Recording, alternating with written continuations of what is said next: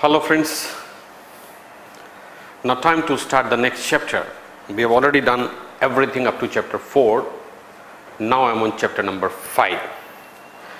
And the title of the chapter is Importation, Exportation and Transportation of the Goods. From exam perspective, this chapter may not be very very important, but it is relevant to understand customs. Right? So, what is the process of import?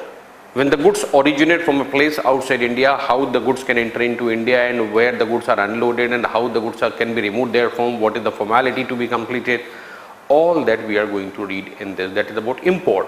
Same is about export. So, goods are brought to a particular place which is called as customs station. Therefore, what are the formalities to be completed when the permission is obtained and then the goods are allowed to be loaded for being shipped outside India. That is export. Then import can also be by way of baggage. So when the passenger is coming to India, that is the import of baggage. When the passenger is leaving India, that is export of baggage. So there are provisions for how much baggage can be brought in. It is, there is nothing like what can be taken out, but what can be brought in by way of baggage. And what kind of duty will be there, what kind of exemption will be there, that is one part.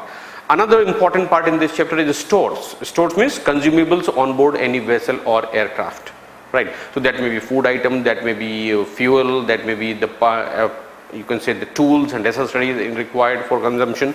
So import and import of stores is altogether different.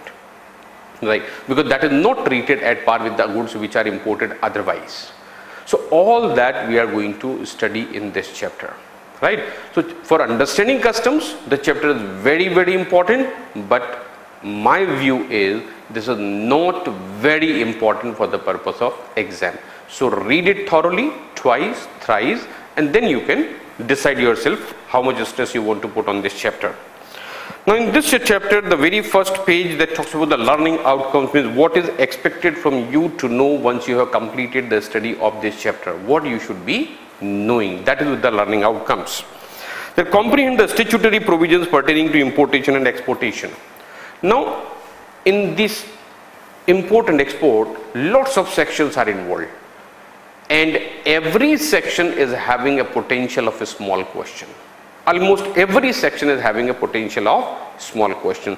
So when i do that i'll pinpoint which are the sections which are really important for the purpose of your exam Next is analyze and apply the procedure for clearance of imported goods and export goods. So procedural questions generally is those are not there in the final exam. Then understand the provisions relating to postal articles and stores once in a while small questions. Then analyze and apply the procedure relating to clearance of baggage. Baggage is one area where from questions are expected and generally questions are there in the exam from the chapter of baggage. And then we have analyze and statutory provisions pertaining to transit and transshipment and appreciate the difference between the two then understand the provisions relating to coastal goods. So as such it is a big chapter, lots of provisions are involved, but as far as importance is concerned, that is a different issue altogether. Okay. So now let us start from page number 2. On page number 2, the first title that is importation which I am referring, they say goods can be imported by sea, by air, by land it can be imported as a baggage, it can be imported as a stores, it can be imported by courier, lot many ways of importation of the goods. Then definition and important terms, right? Friends, I doubt anybody will ever ask you a definition in the exam. But the words referred in the later part are defined here. So that's why this, these definitions should be known to you, right? So I don't recommend you to cram the definitions as far as exam is concerned, but it is important to understand so that you can understand the provisions which we are going to discuss later.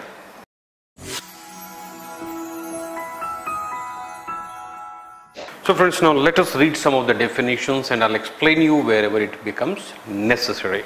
Okay. Adjudicating authority.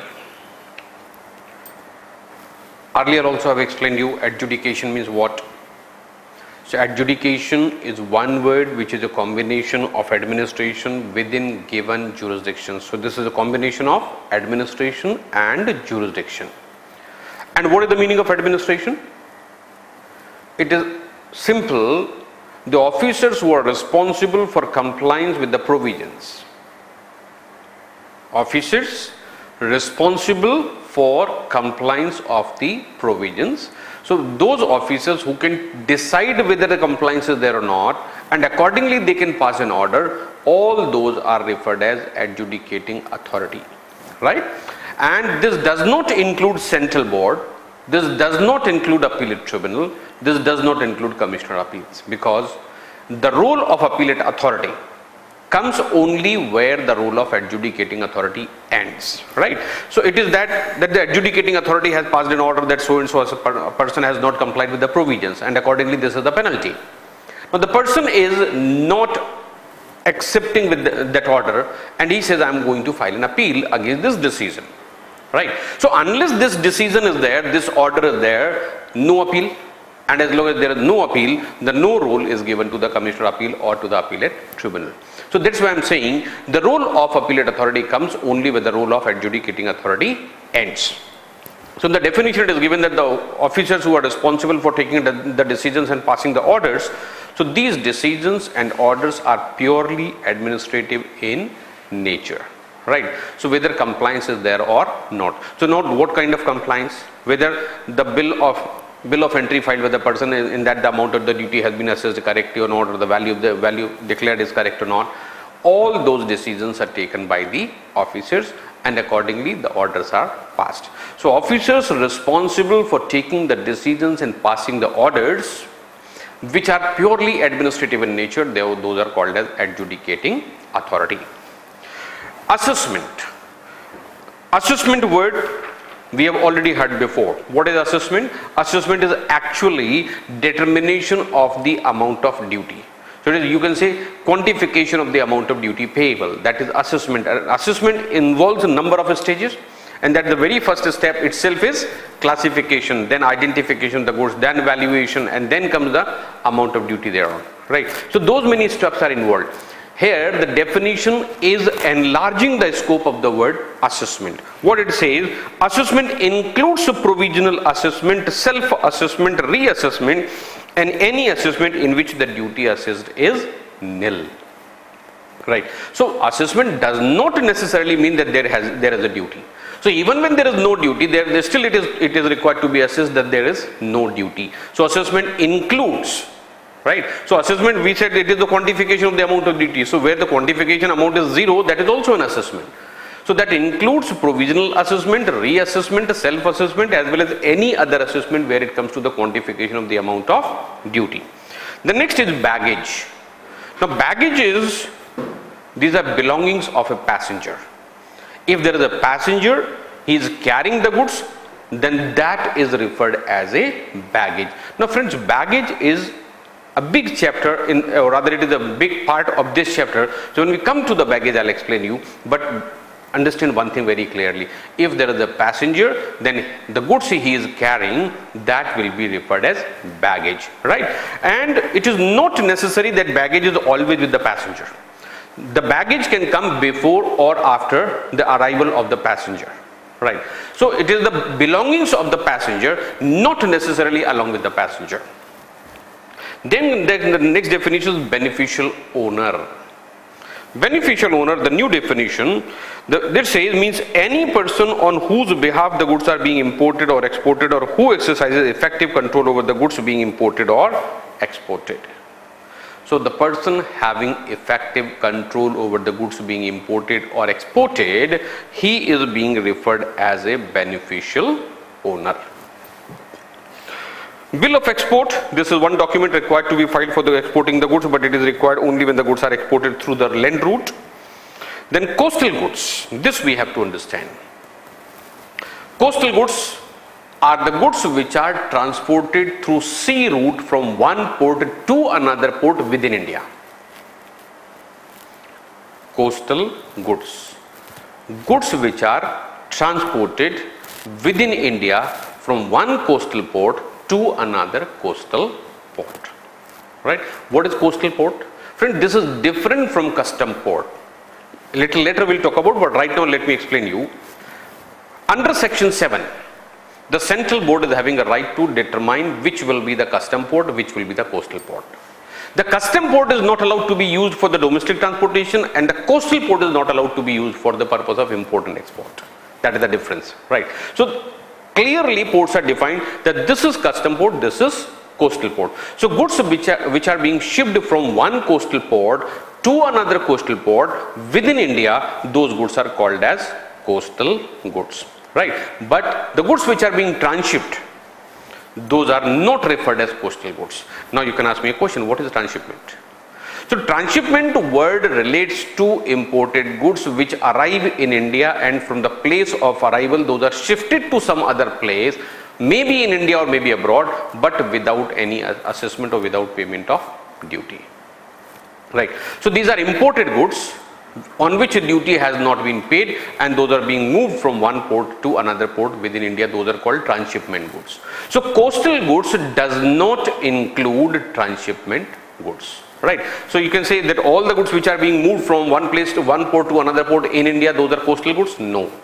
There can be two categories only coastal goods and transshipment goods. So coastal goods are those which are either manufactured or produced in India or which are imported and on which the duty has been paid and then we have transshipment goods these are imported goods which are being shifted from one port to another port in India and on which no duty has been paid that is called as coastal port and coastal goods.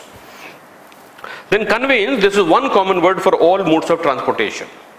Conveyance it is one common word for all modes of transportation. So it may be vehicle it may be aircraft it may be vessel or it may be any other mode of transportation.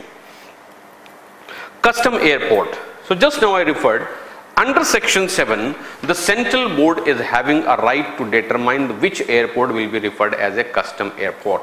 And the custom airport is mainly for import and export of goods right? But in airport the passengers are also involved but passengers necessarily carry some of the goods. So this act does not deal with the passenger, this act deals with the goods only. So it is not talking about the person coming to India, person leaving India, but it is talking about the goods coming to India and goods leaving India. Uh, that is, you can say import or export by air. So that can be done only from the custom port or rather custom airport.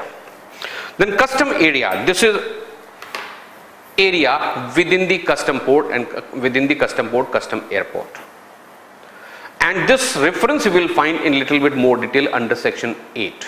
So the commissioner having jurisdiction over the custom port, custom airport is having the right to fix the area within that which will be called as custom area. Let me give you an illustration little bit. Assuming that this is Mumbai airport right this is complete airport here we have domestic terminal this is domestic terminal and here we have international terminal. Right? Airport is same but terminals are different right? Quite possible the commissioner of customs declare so this entire airport has been declared by the CBEC as a custom port custom airport. CBEC this is Mumbai airport right. Now this is a custom airport already declared by CBEC, right? And in this custom airport, the commissioner has declared a specific area to be called as custom area. Say he has declared this area is custom area. So this is custom area. Okay. So within the port within the airport there is an area which is which is declared or defined or you can say fixed by the commissioner having jurisdiction over that which will be called as custom area. And the relevance of this area is entire quantity of the goods which are imported into india or which are to be exported from india should be loaded or unloaded within the custom area only because this remaining area can be used for international purpose for domestic purpose both.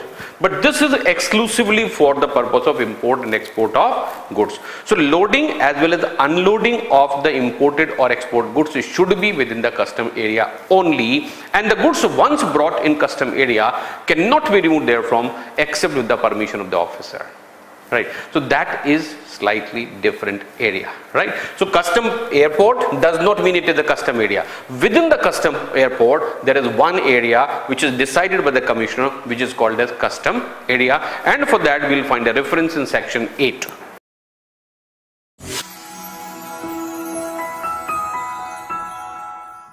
so now next one we have custom station. Now custom station is one word which includes custom port, custom airport, land custom station, foreign post office as well as international courier terminal. Right. So it is one word which covers all places where from import export takes place. So custom port, custom airport, land custom station, international courier terminal as well as foreign post office all taken together we use one word custom station. Then there are dutiable goods. So duty is not only an import goods, duty is also there on export goods. Of course, it is very, very limited, but these are the goods on which the duty has not been paid. So first thing is whether it is dutiable. Whether the, first of all, whether the article comes under the category of goods because the goods are already defined, right? And literally all the movables are covered in that, right? So any article being imported it will certainly come under the category of goods. Number two, whether there is a duty or not. For that we have to refer to the classification and if there is a duty then that is dutiable, right? And then if the duty has not been paid then that is referred as dutiable goods. The next word comes on page number 4, the word is entry. Now entry literal meaning carries a different, uh, this word carries a literally different meaning but here it is a legal term. Entry means filing of the relevant documents for the purpose of clearance of the goods. So in case of import, we file bill of entry for the removal of goods. In case of export, there is a, there are export documents which are filed for obtaining the permission for export. So submission or filing of the documents for obtaining the permission or you can say for the removal of goods, that is called making of entry, right? So entry don't understand in the literal sense don't refer the dictionary for this word right? Otherwise you will you will never understand the meaning of this. So entry means submission of the relevant documents for import as well as for export of the goods. Who is an exporter? Exporter in relation to any goods at any time between their entry for the export and at and at the time before they are exported include the owner beneficial owner or any person holding out to be the exporter. Right. So either owner or beneficial owner or any person who is claiming to be the owner, he will be referred as exporter. Then we have foreign post office. This is a new definition. This is, means any post office appointed under clause E of subsection 1 of section 7. So section 7 in any case we are going to refer later but that talks about the appointment of custom port, custom airport, land custom station, then also inland container depot, then the, then the transit routes and international courier, courier terminal as well as foreign post office all those are appointed by CBEC under section 7. The next definition foreign going vessel or aircraft. This is an interesting definition and this is relevant also for the purpose of exam because this is connected to one topic that is stores. So there again we will refer that. Right now let me explain you what does it mean foreign going vessel or aircraft.